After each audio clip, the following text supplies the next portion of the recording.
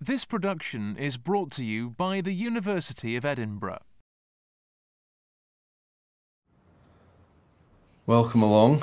This session is the solutions to exercise 5, which was all about writing script files. So question 1. Calculate the absolute pressure at the bottom of a vented liquid storage tank. Um, before we get started with this question, the first thing I'm going to do is open a new script file in MATLAB by clicking on the new M file icon. And that opens a new M file in the editor window. So we're ready to start our script. The first thing that goes into the script file is some comments at the top of the script, just explaining the name of the file, what the file does, who authored it and the date it was authored, and then a little dictionary containing the variables that are used in the script. So we'll start by giving the script file a name and call this tankpressure.m.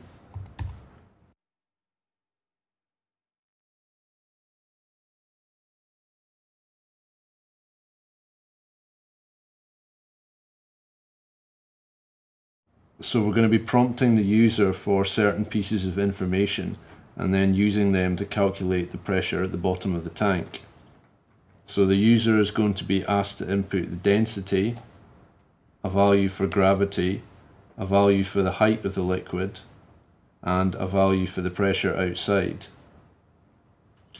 So we're going to have to take those variables from the user and convert them into SI units. So we'll begin to input our variables.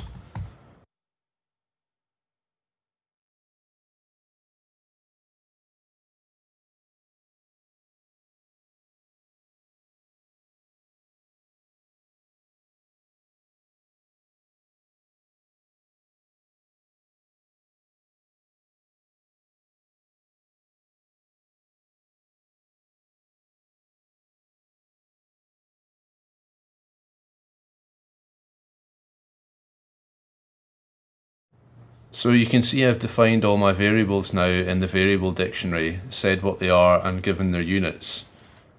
And what I've done here is I've defined the variable names and then added SI to indicate a different variable once the original variable has been converted into SI units.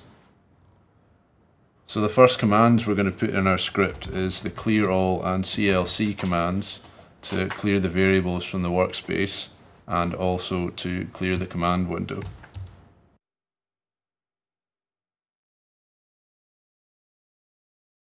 And after we've done that, we want to gather information from the user. And the way we're going to do that is by using the input command. So the first bit of information is going to be a value for rho and rho will be prompted for in SI units.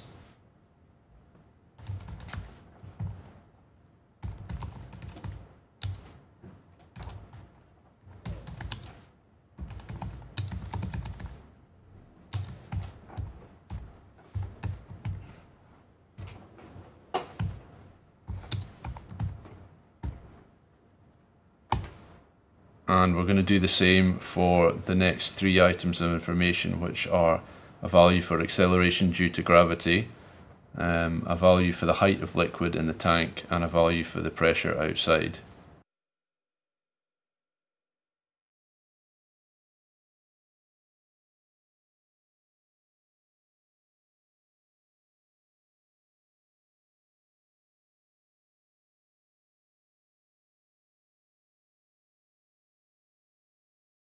So now that we've received all the information from the user, we're just going to define some conversion factors before we go and convert to SI units.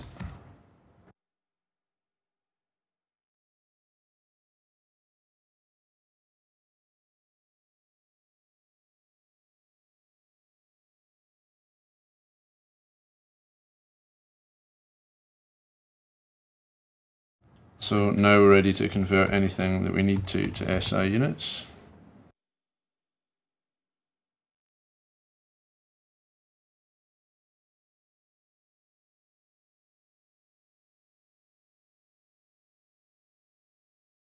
And now that we have everything in the correct units, we can go on and calculate the absolute pressure at the bottom of the tank.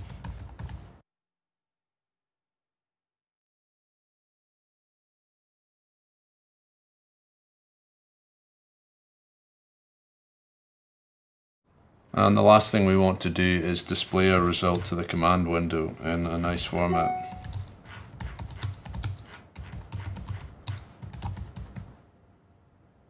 I'm going to do that using the disp command.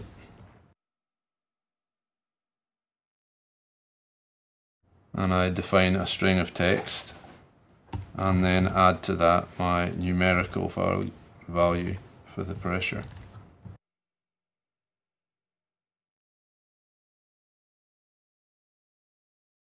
So now we're ready to test our script. Before we do that we should save it and remember to call it the same name that we specified at the top of the file.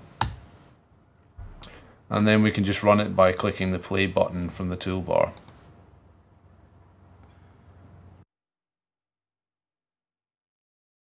And it returns the pressure at the bottom of the tank. This production is copyright, the University of Edinburgh.